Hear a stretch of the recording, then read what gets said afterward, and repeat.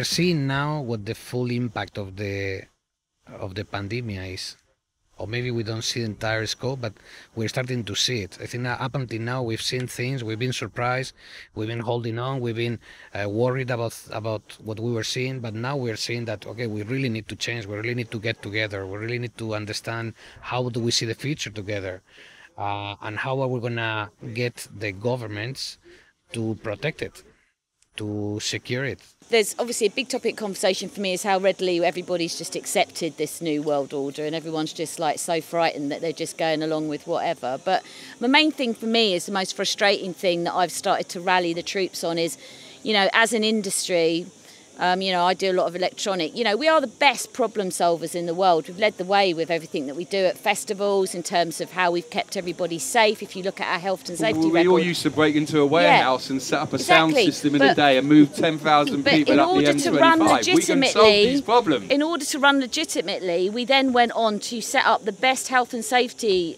uh, scenarios, all, all sorts of parties and raves and, you know, more people die from drug related deaths at rock and roll shows, by the way, rather than electronic shows. Just wanted to, point out. But I'm, I'm, I've sat and thought about what how do we fix this? What is the solution? Why aren't we all coming up with better solutions? I know we have to deal with governments and laws. So i've been pushing and working with a lot of people working out if we can do an effective testing model that works to run shows without social distancing.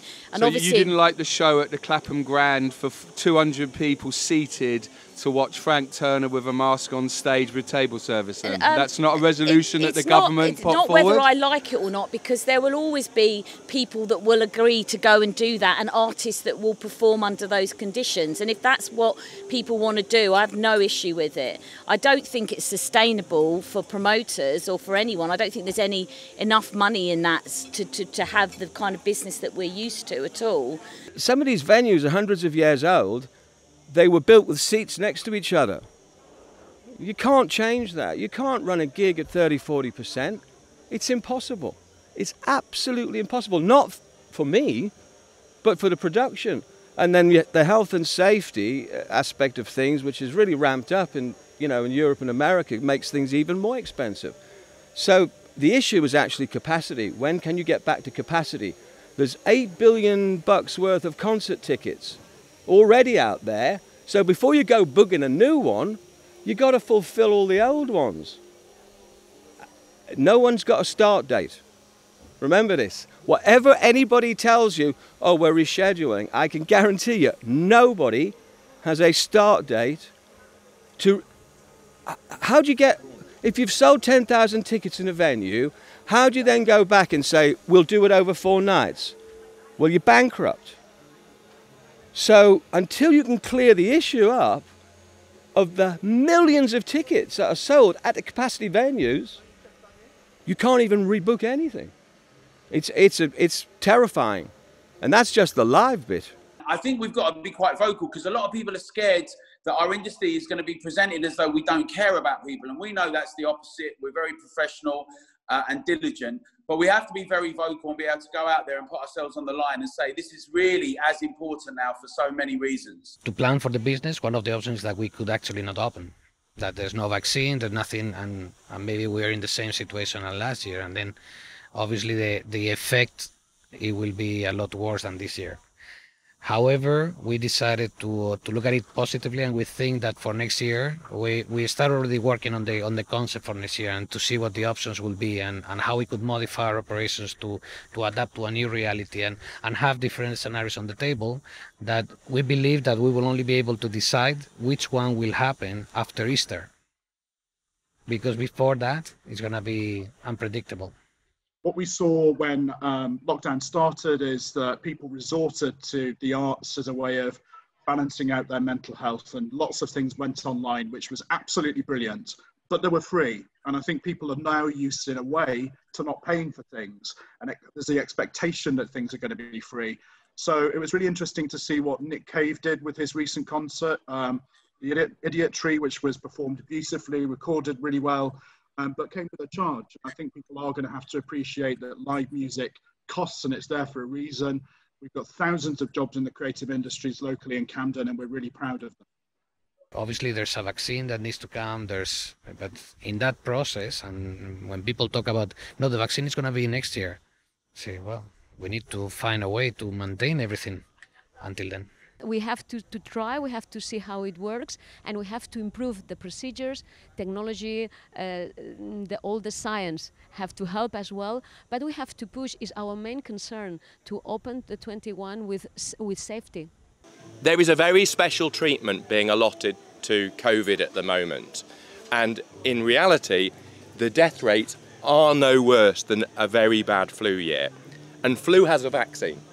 So if we move into the next stage, maybe if we learn to live with COVID, it will possibly be the same or less dangerous than the flu that already exists. Now, I'm not saying we should definitely do that, and I'm not an anti-vaccine person who says that, you know, maybe there'll be a wonderful vaccine in November and maybe I'll want to take it in a couple of years' time when I know it's safe. But at the moment, I perceive the risk of taking it would be higher than the risk of me not taking it. So I do think there's a there's a really interesting debate here that we are not having because we are not allowed to consider half the options on the table. We have to only debate the absolute assumption that we want to work on numbers of deaths and how atrocious this is, and no one will look at the economics of it uh, and the economics of life years and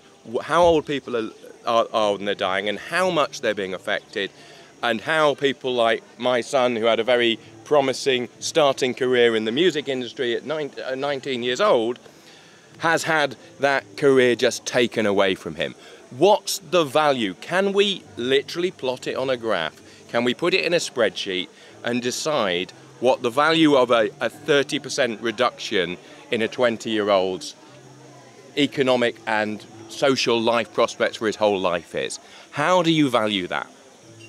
Because I tell you what, your grandparents do not want their parents or their children to suffer over these sort of issues. So I just think I'm not I'm not trying to just say there is one or the other. I'm just saying the debate needs to be opened up and then we have to come up with the best solution.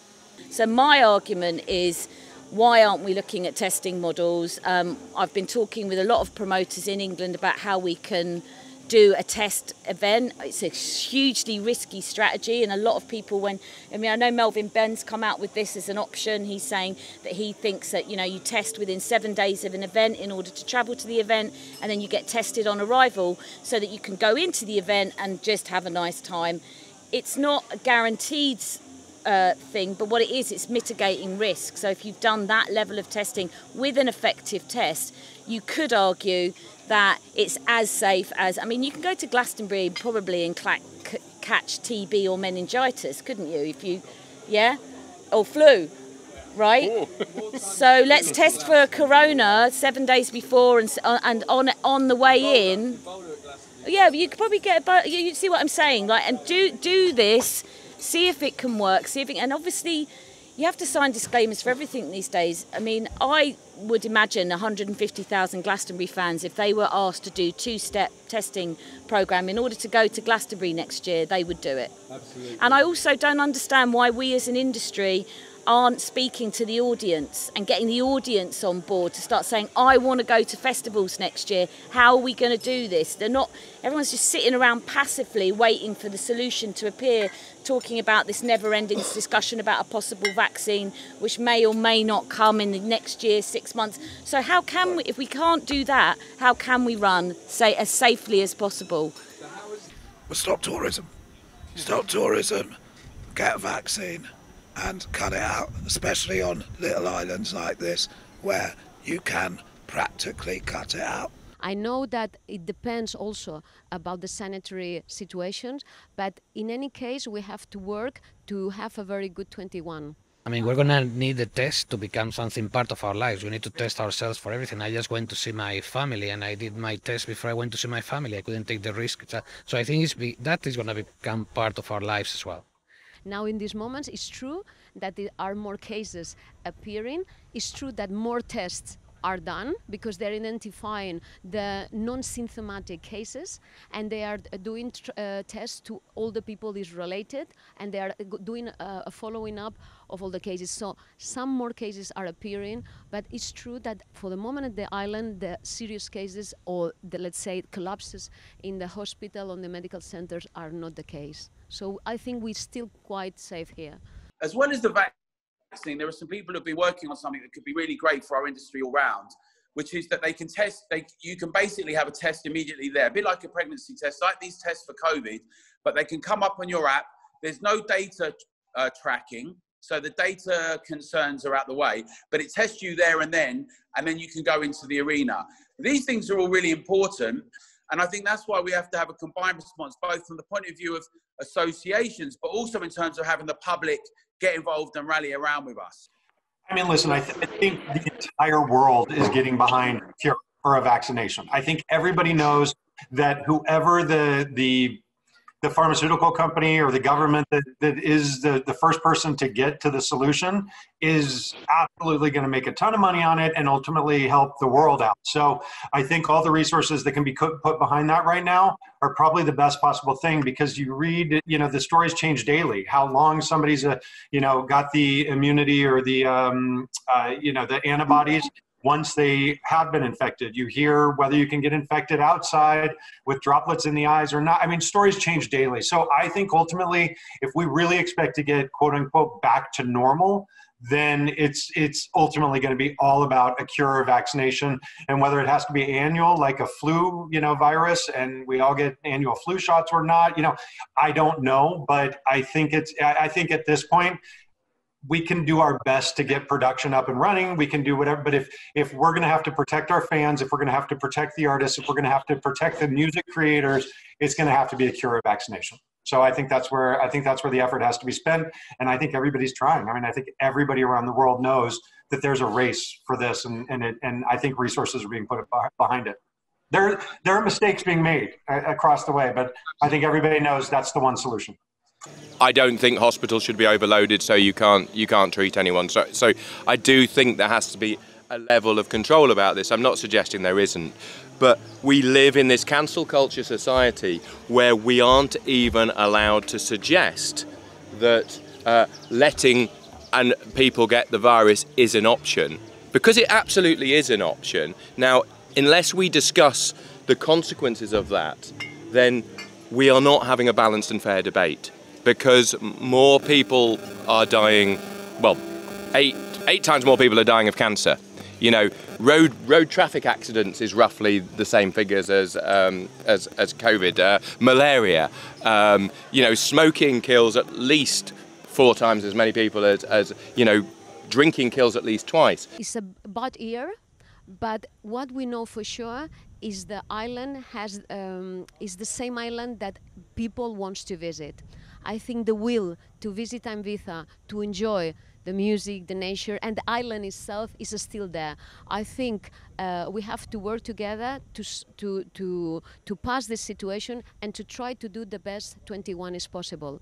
Now we're actually driving the agenda. So we've actually got a strong document which presents itself in a way that compares with other businesses that have been allowed to be released from lockdown and showed the comparative in terms of exposure, showed the comparative in terms of the age profiles that are attending these venues. Uh, and the vulnerabilities off the back of that, and how to mitigate all of those risks within environments that are already existing and measures that are already taking place. So, uh, that that document and that piece of work is going out over the next seven days.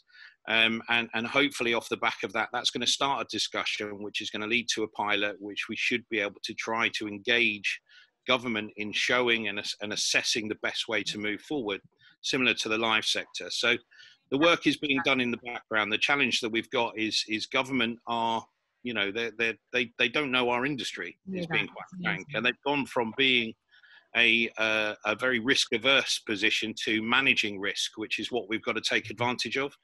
Um, and we're doing that very well. We've got a consortium of people working forward. We're about to release this piece, which is hopefully will give us that opportunity to do some of those pilot schemes, whether it be in venues, nightclubs, uh, festival spaces, where we're looking at reduction in capacity, we're looking at uh, tests on entry. We're also working with a company that do antibody testing prior engagement. So there's lots of work going into the background that's going to mitigate risk on top of the things that we're already doing within an operational process. Um, because we carry so much of it, which, you know, let's be honest about it. If you go into a pub, you haven't got security, you haven't got air change, you don't do tests on door, it's very loose, track and trace is very moderate. Whereas when you look in a nightclub or a, a venue, track and trace is part of your license. You've got a security team on board. The air change is a lot more systematic. Your cleaning on night by night is stronger. So there's no reason why government really shouldn't take us seriously and allow us the opportunity to engage and, and be able to restart our business. But we need to drive that agenda. If we leave it to government, they're just going to think we're sweaty venues and not be able to, you know, accept that there is an opportunity to open. But I really, really believe in testing as a way forward, as a way of, there's got to be a way to, to, to be able to run an event as safely as possible um, and with no social distancing. I would sign that form. I would sign the disclaimer and go through that process and be at an event if that, if those things were in place and proven. So I think they're very close now to having very quick, fast tests. At the moment, that's that's another issue that there isn't a test at the moment that's guaranteed efficacy that's quick, and that's rather than waiting for seven hours for a result or whatever. I think this is going to change the industry, at least for the short term. And I think what we all can take lessons from, as an example, what the, the National Basketball League is doing, NBA here, where they put people amazing. in a bubble. It seems amazing. to be successful. Our industry can learn from the sports industry. If you look what Tomorrowland did this year, that, that music festival, I mean, digitally, it was insanely well done. It was spectacular people would rather be in a crowd dancing with their friends but they did you know we're all for, we're all going to be forced to adapt a little bit and i, I just think this industry I think we'll th- thrive and survive because we're made up with creators. So I'm excited to see kind of where it goes, and we, we do have to adapt. Working for a big American agency, that, you know, sports, very soon you're going to be able to, if you can't buy a ticket to your game, or you're probably already doing it, or to the basketball match, you could buy front row seats with a virtual headset and be part of that experience. Uh, obviously, I'm writing music, I've got a couple of albums in the bag, and all that sort of stuff, and we're talking about releasing, and I'm like, literally even two months ago, I was saying we have to think about this differently. We have to think about delivering this music differently. I think. You know, we always hear about sellout events. No, you can never get tickets for your favourite festivals or gigs. This could be a really good way of actually playing to more people. Because, you know, I'm a, I'm a visionary, and when I visualize stuff, I can see it. So when I try to visualize being in three countries in one weekend and DJing, I can't see it. Okay. I can't see it. So I trust that. When I think about touring how we used to tour, I can't see it. So I trust that. So I think we need to think of have we have to be innovative. This is the great thing about the music world, right? Is that we adapt. We adapt, man. Whether that's the streaming, whatever it is, but we adapt. You know, I've got. I know people that own pressing plants and they're like pressing more vinyl than they've ever pressed because now people want to acquire. They want something that's tangible because we don't have live shows to go to and stuff like that, you know? I think the virtual model is never ever going to replace live. Absolutely. However, if we think logically about it, it's another way for artists to earn money or to raise money for charity. It's another way for audiences to tune in with their favourite artists if they can't buy a ticket for a festival or an event. You could do private shows for clients. I mean, I think it's great. You know, if you go back to the 70s, when you had um, formats like the Old Grey Whistle Test, which didn't have a stage, it was on the floor and it was in your living room, and it worked. It was very engaging and it was very musical, and the formats were made to watch on a screen. Your garden's not a format. It's it's basically just a way to survive by doing it on some of the platforms that can do it. But if formats were created and production companies looked at things in a way. I think there was one very successful DJ event where they they filmed it, and that, I think they had about seven million pay per views. The online thing can be as creative as well as you like. You could be doing gigs in gardens, like it's like you know to keep the social day. And honestly, I think there's an appetite for it, and I think the audiences, if we don't run gigs soon, they want to see the people that they love musically doing stuff if, if you were to look at and produce some formats correctly and make them quality entertainment and stream properly, then uh, of course it can work. because there's hundreds of thousands of creative people who could get to work. I still think live will be massive, but I also think this is absolutely a new side to the business that's well, being developed right Even now. It it's an addition. Once the live comes back, this could be an additional way of doing Imagine a band that sells out you know, uh, does a touring cycle for 18 months and then at the end decides to record the last gig and then sell it pay per view to all their fans. Brilliant addition to a tour. Yeah, Led Zeppelin, amazing. Yeah, exactly. Why aren't Led Zeppelin doing that? I'm no Arthur C. Clarke or visionary. You know, I knew the internet would be big back in '89, but in no way saw the impact on culture and, and information. Um, I think it is incredible, but I think it is there's a certain craziness to it. I think you're going to see many, many artists moving forward are going to be diving deep with uh, virtual or AI experiences. I think it absolutely uh, is what is going to be going on in the next couple of years, and the and the technology is going to change and adapt and become better and more. Yeah, it, it literally. I hate to say it, but I think it is a new a new side to our business, and I think it is the future the of our business. I came up with the concept of Set for Love. Do you know what I mean? And we took that. We, we did a night here last year. Uh, which was obviously raising money for the wells that we're building in Asia and Africa and stuff. But then we took that a step further because of that one idea. We did Set for Love streaming, and we've done it twice now, and that's helped with the COVID re- relief fund and, and stuff like that. Were you happy with the audience that was achieved well, and the yeah, way it, was, it came across? We, we, you know what, We've saved lives. That's the most important thing. And we're using music to do that.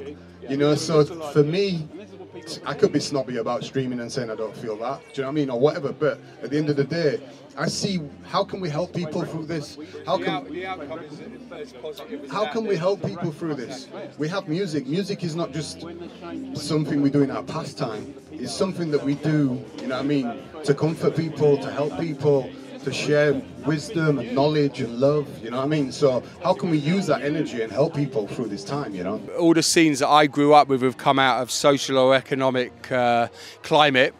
Um, we've been lucky to have that in our lives. You know, whatever people say about Thatcher back in the day, we would never have had rave, we'd never have had summer loves, we would never have the new romantic scene, the two-tone scene, and there is possibly, and I, I hate to say it, possibly some good that might come out of this when we look back in time to come. Now is an opportunity to go into the world that we really want to live in, you know, and how we apply ourselves, what are our relationships like, whether that's to our art or whether that's to people. You know, even thinking about our business models and how our businesses can help people rather than how I can improve my business. You know, there's just a lot of things that I think that, that, that, that can give us the opportunity to be on some sort of level conscious playing field in way that we can recognize our community, we can recognize the world that we live in and start taking care of that and start thinking about it more on that level rather than an individual level or how I've been affected. I personally kind of feel that like Earth is not well and and as has been said, you know, the COVID thing is has like distracted us from the climate change. I look at commercial farming of animals and you look at COVID and you think there must be a connection to this, you know, this incessant consumerism. At the same time, all these difficulties, I think, essentialize the, the, the energy and power uh, uh, uh, of, of, music and, and how it can carry a, a succinct and, and, needed message and, and, a, uh, and a support to people's souls really, you know, to give them hope. I'm not saying this because I'm comfortable at home with my family, but for me, you know, it's been a very okay, emotional time, but it's been also, like I say, a time where I've just sort of looked at things that I've never really looked at before, you know, and even if that's the infrastructure of the business and the people that work behind the bar or the, the, concert venues that I used to play at that are not going to exist anymore and all the important people I've met along the way. You know, it's like to really start thinking about all the different elements that have supported you all along the way. All of us um, have to be a lot more bullish about what we want about the future. I mean, if anyone's quite happy to have another summer off next summer, let's all just keep waiting for our governments to sort these problems out. But the bottom line is they, they are they don't know either. So we all need to be a lot more bullish about what we want to happen and start lobbying the government and being more vocal. And I think one way to do that is to get the audiences involved. If we were to be telling our audiences now, people who quite happily, well, not happily, but not gone to a club or a gig this summer, that next summer is also going to be off unless we start moving forward. I would imagine people power will start moving things along really quickly. And I'd also like to see, I know there's some great acts here talking about this, I'd like to see more artists and, and DJs in the electronic community talking about this more, because they're not.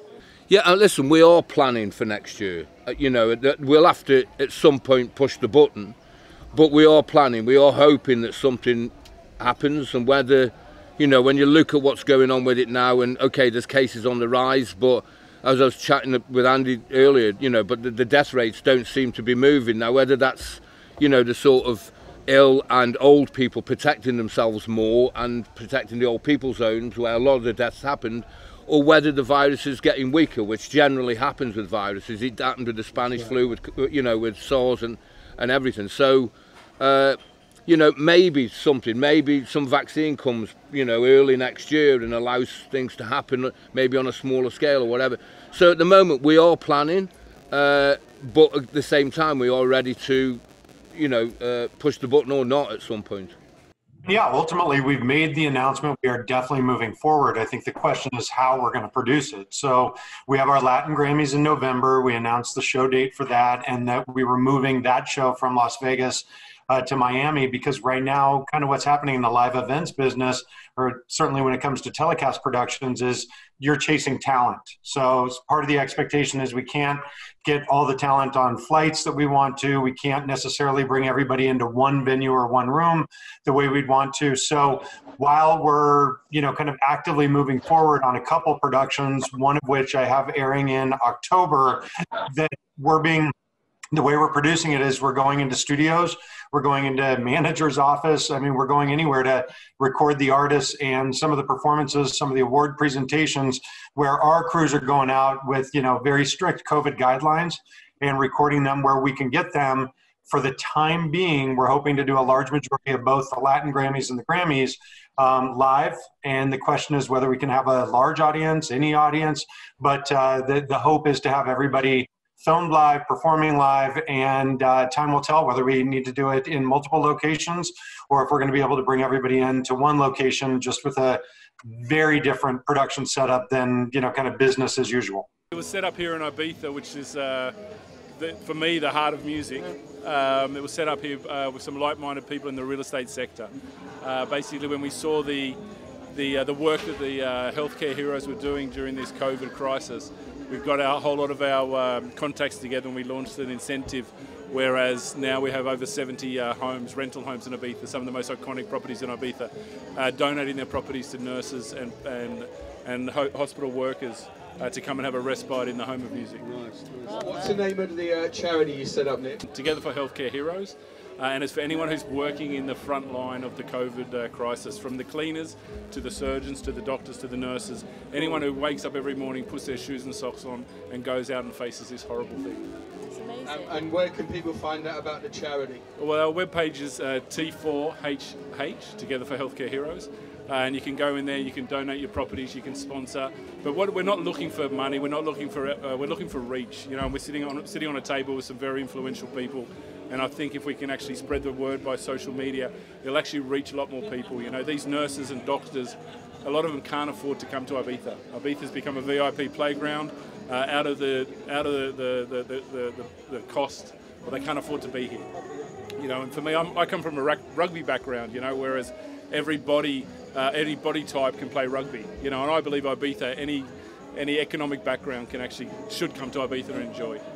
So my dad, Bill Fuller, who built the Electric Ballroom in 1938, he would be continuing to do live music. And, you know, he would not let the government stop him. I think he would he would be very proud of Vince Power coming in and running Van Morrison and just being like, okay, we're the the show must go on. Musicians, concerts, and certain acts, theaters have to continue happening. If in, in, for that moment the only solution we have is to have with certain difference distance, sorry, uh, I think we have to try, of course.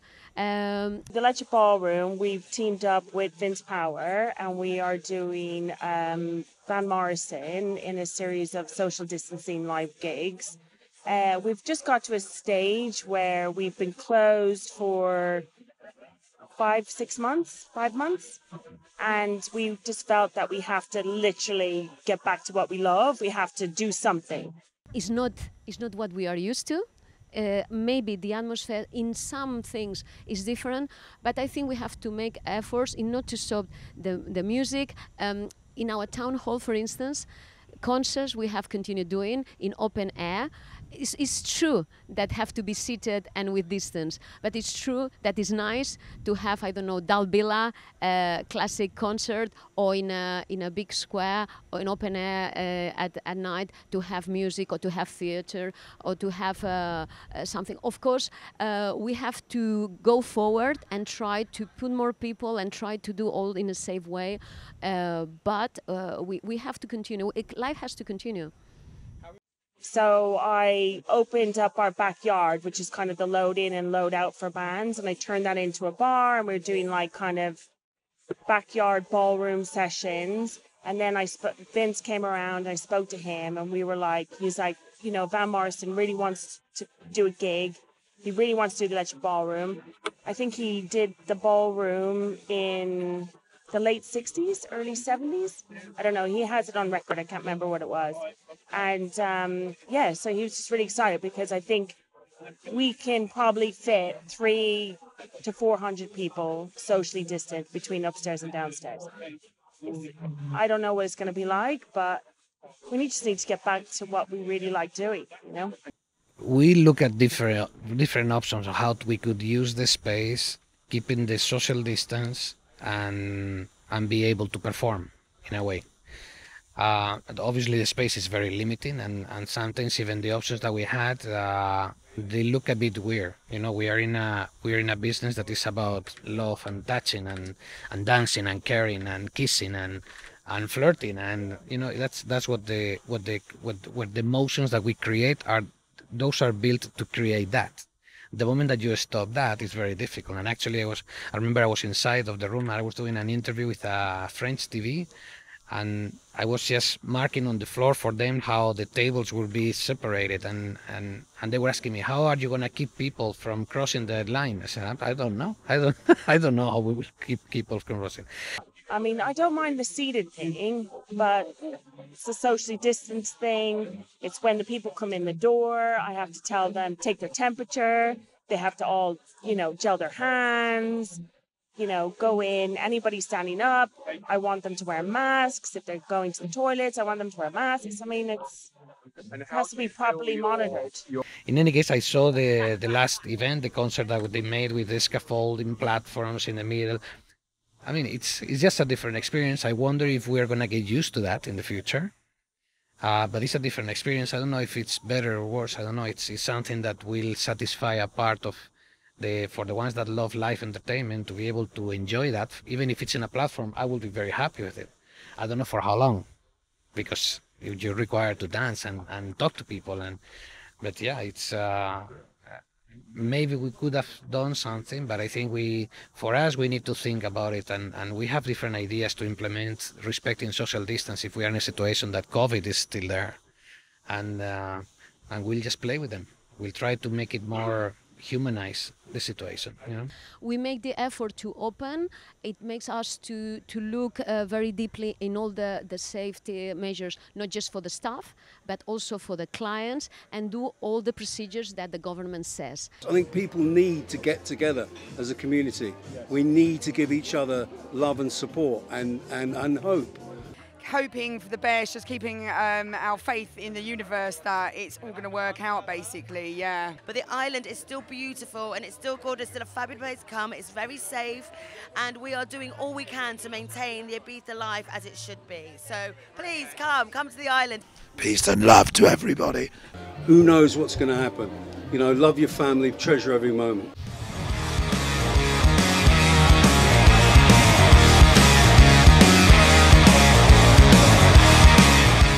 So there you have it from Ibiza. Uh, the land of milk and honey. is the island going to evolve further? Is it going to open next year? Where does where, where do we go with COVID? What happens with live music and festivals back around in the UK and around the world? The government's doing the right thing to support the people. What we've seen uh, and spoken about this week hopefully will go out as a message to relevant people so that change can happen and we can get back to a normal life. Normality is the way forward. Welcome to the reset, ladies and gentlemen. Adios.